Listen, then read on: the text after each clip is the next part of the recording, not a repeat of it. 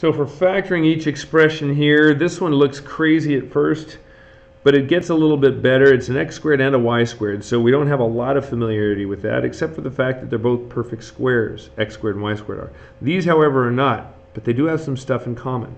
So we want to see if we can take something out. Turns out 8 goes into 32 and 72, and it's probably the biggest number that goes into both.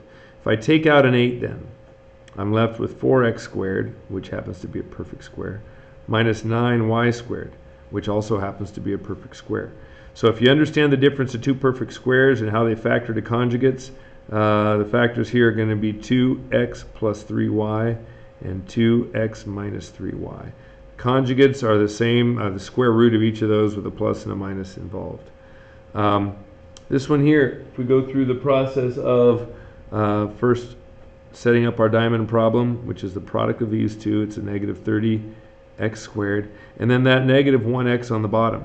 We're looking at two numbers that multiply together to get negative 30, add together to get negative 1, that is negative 6x and positive 5x. This one has to be the bigger one because that's the negative there. All we've done with this, folks, these are not your solutions. Those are a substitution for that, and if you take a close look, not even that close, you'll see that those add together to get that. Remember, that's part of this diamond problem. They have to add together to get that, but also multiply together to get that. Since they are a substitute for that, let's rewrite that over here. But instead of a minus x, we're going to write minus 6x plus 5x, because those two things there are taking the place of that, but we still have our minus 10. So we've rewritten this equation but instead of the negative x, we've split that up into two pieces that will make this work beyond where we are at this point. Um, now, by the way, if you move these back, if you switched them, you'd still get the same answer.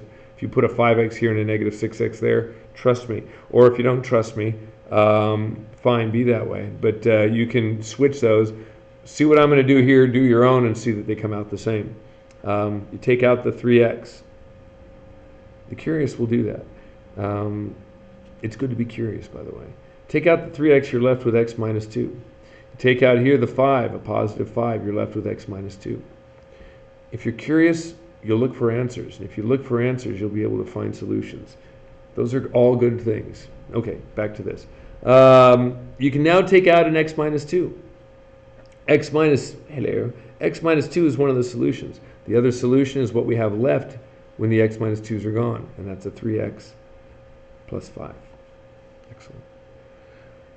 Down here, common factor. You can take out a 4. Look for that. Don't always assume that you just got to start multiplying and do these big crazy things because this gets real easy real quick. x squared plus 8x plus 9er. These are all pluses. This is going to factor pretty easily. The two numbers that um, 6x plus 9er. Uh, I thought that was a 3 for a moment, sorry. Um, even easier because the other one didn't factor. Uh, this will factor to be x plus 3 and x plus 3. So one way we could write this final answer is x plus 3 squared.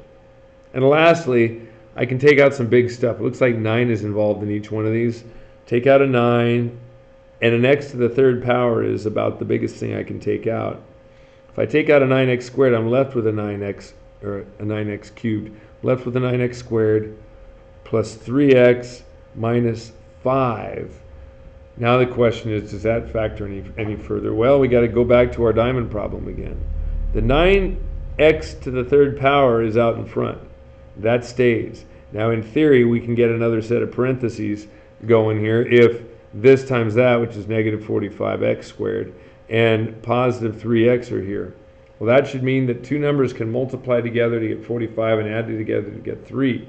Um, it's going to have to be a negative and a positive, um, and they have to be three apart from each other.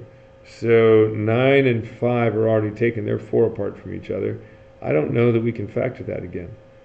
I'm going to go with no and erase this and simply say that we are fully factored when we say that 9x squared uh, plus 3x minus 5 is our final answer.